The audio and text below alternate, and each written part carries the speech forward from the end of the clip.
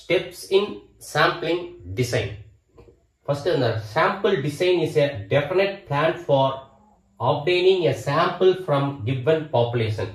ஒரு பறந்து விரிந்த ஒரு பாப்புலேஷன்ல இருந்து குறிப்பிட்ட சாம்பிளை எப்படி எடுக்கணும் அப்படிங்கிறது தான் வந்து அந்த சாம்பிள் டிசைன் அதுதான் வந்து ஸ்டெப்ஸ் இன் சாம்பிள் சாம்பிளிங் டிசைன்ல நம்ம பார்க்க போறோம். Steps types of universe finite infinite அப்படின்னு சொல்லிட்டு இருக்கோம்.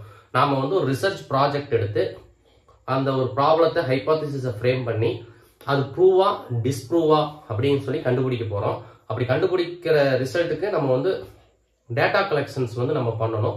அந்த டேட்டா கலெக்ஷன் பண்ணக்கூடிய நபர்களை எப்படி தேர்ந்தெடுக்கிறோம்? அதோடைய ஒட்டுமொத்த பாப்புலேஷன் வந்து ஃபினிட்டா கணக்கிட முடியுமா கணக்கிட முடியாதா? அப்படிங்கிறத வந்து நம்ம தெரிஞ்சு வச்சிருக்கணும். இப்போ வானத்தில் இருக்கும் நட்சத்திரத்தை நான் என்ன போகிறேன் அப்படின்னு நீங்க சொன்னீங்க அப்படின்னம்னா அது வந்து பாசிபிளா அப்படின்னு சொல்லிட்டு பாசிபிள் கிடையாது. இதே வந்து நான் வந்து குறிப்பிட்ட கம்பெனியோடைய சோப்பை யூஸ் பண்ணுறவங்களை போய் நான் சந்திக்க போகிறேன் அப்படின்னம்னா அந்த வந்து ஃபினிட் அப்படின்னு சொல்லுவோம். ஸோ அதை வந்து பாசிபிள் அப்படிங்கிறோம். ஸோ அப்போ இந்தியா ஃபுல்லாக நான் சென்செக்ஸ் கணக்கு எடுக்கிறதே பார்த்தோம் அப்படின்னம்னா அங்கங்கே இருக்கிற அங்கன்வாடி டீச்சர்ஸை வச்சு தான் அந்த கணக்கு எடுப்பாங்க. அது வந்து ஒரு டிடிஎஸ் ஒரு லாங் டைம் ப்ராசஸ் அப்படின்னு சொல்லுவோம். ஆனால் நம்ம பிஹெச்டிக்காகவும் எம்பிளுக்காகவும் ரிசர்ச் பண்ணும்போது ஒட்டுமொத்த இந்தியா ஃபுல்லாகவும் நம்மளால டேட்டா வந்து கலெக்ட் பண்ண முடியாது. அன்னைக்கு இருந்த சுச்சுவேஷன் இன்னைக்கெல்லாம் பார்த்தோம் அப்படின்னம்னா அந்த ஃபேஸ்புக் மூலியமாகவே அந்த ஆப் மூலியமாகவோ ஏதோ ஒன்று நம்மளால் கலெக்ட் பண்ணிக்க முடியும். சம்டைம்ஸ் யூடியூப் கூட உங்ககிட்ட டேட்டாஸ் எல்லாம் கேட்குறாங்க நீங்கள் வே- எந்த விளம்பரத்தை நீங்கள் வந்து ஃப்ரீக்வெண்ட்டாக பார்க்குறீங்கனால நீங்கள் பார்த்துருப்பீங்க. ஸோ அப்போ டைப்ஸ் ஆஃப் யூனிவர்ஸ் அப்படிங்கிறத வந்து நம்ம வந்து ஃபர்ஸ்ட் ஃபிக்ஸ் பண்ணணும். நம்ம யாரை தேர்ந்தெடுக்க போகிறோம் நம்மளுடைய பாப்புலேஷன் என்ன? நம்ம யாரை சந்தித்து டேட்டா கலெக்ட் பண்ண போகிறோம் அப்படிங்கிறத நீங்கள் வந்து தீர்மானிக்கணும். நெக்ஸ்ட் வந்து சாம்பிளிங் யூனிட் அப்படிங்கிறது ஜாகிரபிக்கல் வந்து ஃபிக்ஸ் பண்ண போறோம். Satisfaction of the soap users அப்படின்னு சொல்லிட்டு ஒரு பர்டிகுலர் பிராண்டை நீங்க எடுக்கிறீங்க அப்படின்னம்னா பர்டிகுலர் வில்லேஜா பர்டிகுலர் டிஸ்ட்ரிக்டா பர்டிகுலர் ஸ்டேட்டா நேஷனலா இன்டர்நேஷனலா அப்படின்னு சொல்லிட்டு அந்த ஜாகிரபிக்கல் ஏரியாவை வந்து ஃபர்ஸ்ட் நீங்க டிட்டர்மைன் பண்ணணும். ஃபர்ஸ்ட் யூனிவர்ஸை டிட்டர்மைன் பண்றீங்க. நெக்ஸ்ட் வந்து ஜாகிரபிக்கல் ஏரியாவை வந்து ஃபிக்ஸ் பண்றீங்க. சோர்ஸ் லிஸ்ட் அவங்கள வந்து எப்படி சந்திக்கிறோம்? அவங்கள வந்து எப்படி சந்திக்கிறோம் அப்படின்னு சொல்லிட்டு நீங்கள் அந்த சோர்ஸ் லிஸ்ட்டை வந்து கிரியேட் பண்ணணும். அது ஆல்ரெடி சில இதுக்கெல்லாம் இருக்கும். சிலதுக்கெல்லாம் வந்து நீங்களாக தான் ப்ரிப்பேர் பண்ண வேண்டியதாக இருக்கும்.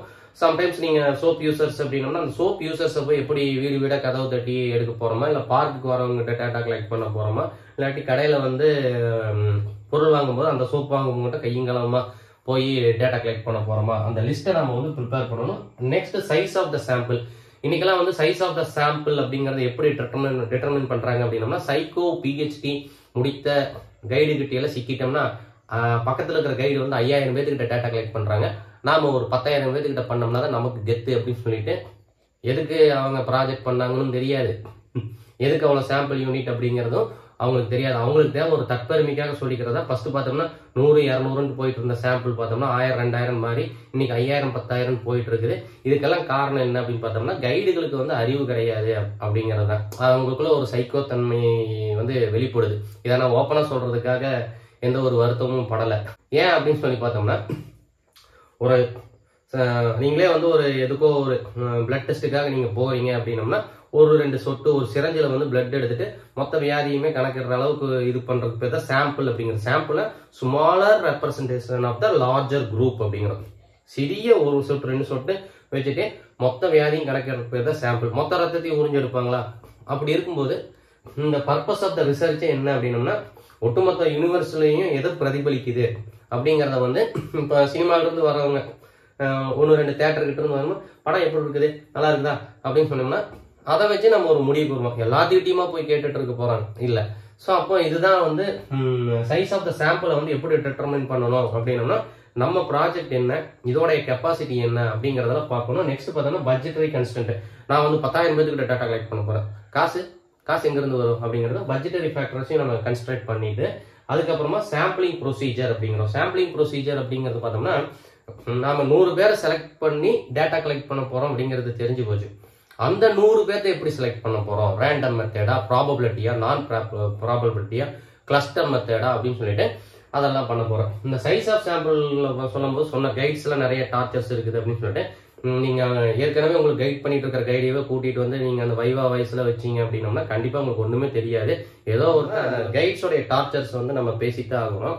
ஏன்னா இங்கே வந்து யாருமே வந்து எல்கேஜி யூகேஜிலேருந்து நீங்கள் படிக்கும்போது ஒரு கேள்வி கேட்பாங்க பதில் சொல்லுவாங்க. பட் இந்த இடத்துல கைடு அப்படிங்கிறது பார்த்தோம் அப்படின்னோம்னா ஒரு ஒரு ஆராய்ச்சி பண்ணணும் அப்படிங்கிறவனுக்கு வந்து ஒரு ஒரு ஹெல்ப் சப்போர்ட்டாக இருக்கணும். ஆனால் இன்றைக்கெல்லாம் பார்த்தோம்னா என்கிட்ட நான் கைடு படிக்கும்பொழுது என்னுடைய கைடு வந்து டார்ச்சர் பண்ணாங்க.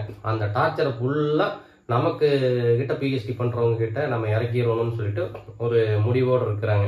ஸோ அதை பார்த்தோம் அப்படின்னோம்னா ஒரு மூணு வருஷத்துலேருந்து அஞ்சு வருஷத்துக்குள்ளே அவங்க முடிச்சா அவங்க வாழ்க்கையில வந்து ஒரு ஆசிரியராகணும் அப்படிங்கிற ஒரு கனவுகளோட தான் வருவாங்க. இந்த கனவுகளையே கில் பண்ற அளவுக்கு ஏன்னா இன்னைக்கெல்லாம் ஆசிரியர் பற்றாக்குறையா இருக்கு. நீங்களே எடுத்துக்கோங்க யூனிவர்சிட்டியில எத்தனை பேர் வந்து பிஹெச்டி எம்பிள் முடிச்சவங்க எல்லாம் அந்த வேலையை வந்து பாக்குறாங்க அப்படின்னு நீங்க பாருங்க. கண்டிப்பா வந்து அன்குவாலிஃபைடு பர்சன் பிஹெச்டி எம்பில் முடிக்காதவங்க தான் அந்த ஜாப்ல அதிகமா இருப்பாங்க. அப்போ நம்ம என்ன பண்ணணும்? பிஹெச்டி எம்பில் முடிச்சவங்களை வந்து அதிகமாக ப்ரொடியூஸ் பண்ணணும். அப்படியே ப்ரொடியூஸ் பண்றது ஒன்றும் பெரிய விஷயம் இல்லை. ஈஸியாக ப்ரொடியூஸ் பண்ணிடலாம்.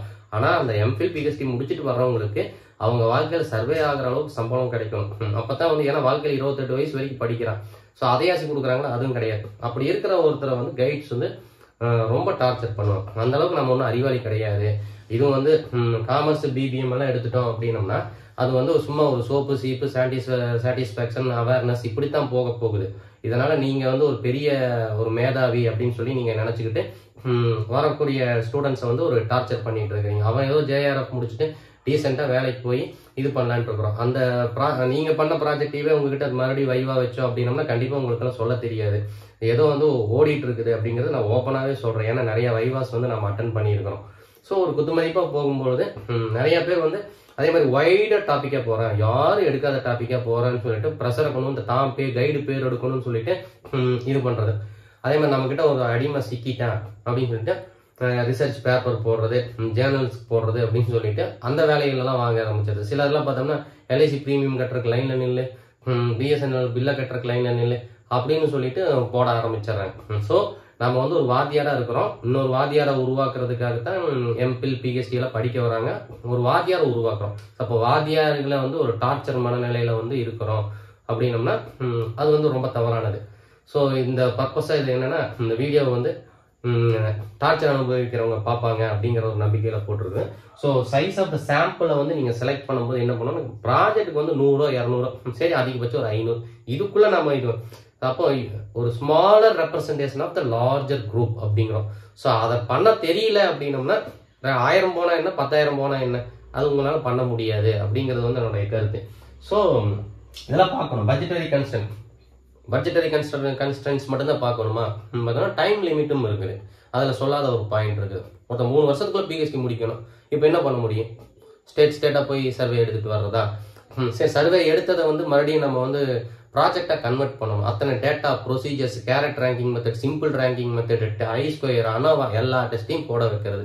ஒரு ரெண்டு மூணு டெஸ்ட் ஒரு சாம்பிள் போட்டு ம். அதே மாதிரி புது புது டெக்னிக்ஸ் எல்லாம் வருது அப்படின்னா அதையும் போட்டு ம் போடு. அப்படின்னு சொல்லிட்டு அது ஒரு ப்ரெஷர் இம்ப்ரூவ்மெண்ட்டில் எப்போ காட்டணும் அப்படின்னா ரிசர்ச் எல்லாம் பண்ணி முடிச்சுட்டு ஃபர்தராக நம்ம ஜாபுக்கெல்லாம் போயிட்டு நமக்கு ஒரு ஃப்ரீ டைம் இருக்கும்போது நாம தான் போய் அந்த ரிசர்ச் எல்லாம் பண்ணணும். கொண்டு போய் ஸ்டூடெண்ட்ஸ் மேலே வந்து டம்ப் பண்ணக்கூடாது. ஏன்னா இப்போ எல்கேஜியே பாஸ் பண்ணி விடுங்க. பன்னெண்டாவது வரைக்கும் ஃபெயில் ஆக்காதீங்க. இந்த கேட்டகரியில் வந்தவங்க இவங்களுக்கு பிடிச்சி நம்ம டார்ச்சர் பண்ணக்கூடாது அப்படிங்கிறது தான் கருத்து. ஸோ ஒரு சாம்பிளை வந்து எப்படி செலக்ட் பண்ணணும் அப்படிங்கிறத ஒரு சாம்பிளிங் டிசைன் தான் இது. ஜெய் ஹனுமான் ஓம் நம சிவாய் வாழ்க்கை